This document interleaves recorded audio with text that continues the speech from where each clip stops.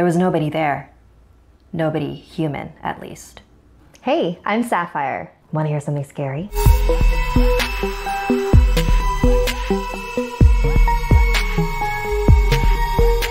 From creepy humanoids to evil creatures, this next volume is all about those unsettling things that are just not quite human. Our first chapter is about one of my greatest fears a possessed doll.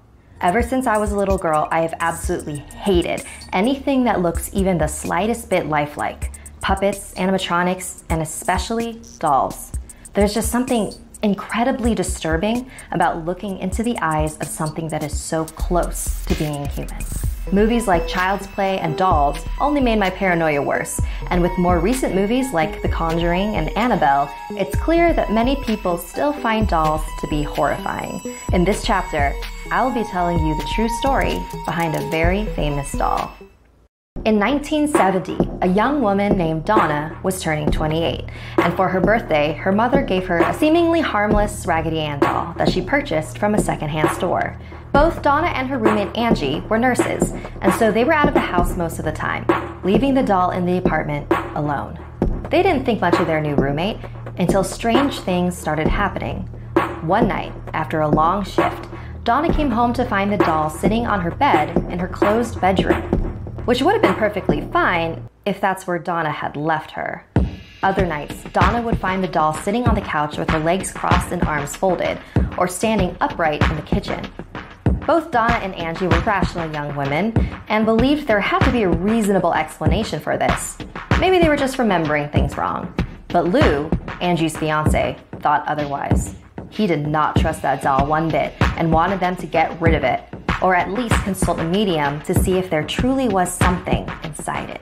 But Donna and Angie didn't believe that was possible, so they carried on as usual. Then, they began finding handwritten notes around the house. They were written in pencil in childlike handwriting on pieces of parchment, a type of paper that no one in the house owned. They read, Help us. One night, Donna came home and found a mysterious red liquid on the doll's hands and chest. It looks like blood, but it was coming from the doll itself. That was the push that Donna and Angie needed to come to terms with the fact that there was something wrong with this doll. They brought in a medium and performed a seance. A long time ago, the medium said, before this apartment complex was built, there was a field on this property and it was here that the body of seven year old Annabelle Higgins was found, and it is in this doll that her spirit now lives. She trusts you and just wants to be around you.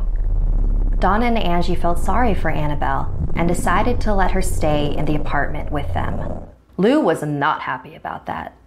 One night, it was just Lou and Angie in the apartment, packing up for a road trip they were leaving on in the morning. Lou was walking to the kitchen and past Donna's room and heard shuffling coming from inside. Donna wasn't home, so who could it be? Lou threw the door open. There was nobody there.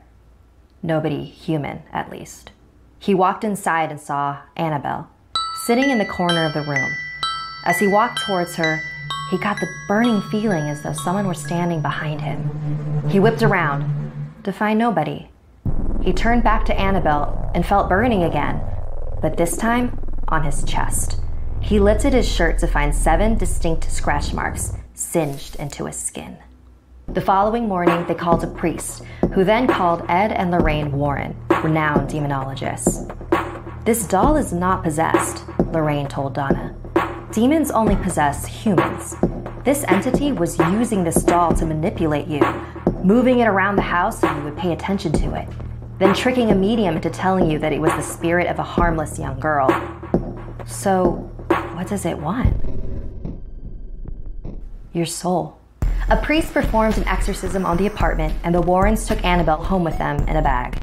Knowing what this entity was capable of, they made sure to avoid the highways on their way home, since Annabelle would no doubt try to sabotage their drive. And they were right. Along the way, the car's engine continuously stalled. So, is Annabelle truly dangerous? Or is all of this an elaborate hoax? If you're the type who needs to see to believe, you can actually visit Annabelle at the Occult Museum, a section of the Warrens' Connecticut home where they store haunted relics collected from the many cases they worked on. She's kept locked in a box with multiple warnings. One skeptical visitor made the fatal mistake of mocking the doll, tapping her glass case and daring her to do her worst on him.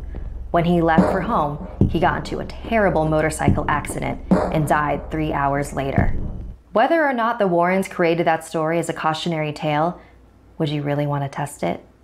What do you think about the story of Annabelle? Do you think an inanimate object could really be evil? Let me know in the comments. Like this video if it gave you the chills, and don't forget to subscribe to Snarled and our new gaming channel, Slaytrix. And if you dare to follow me, my links are in the description below. Until next time, sweet dreams.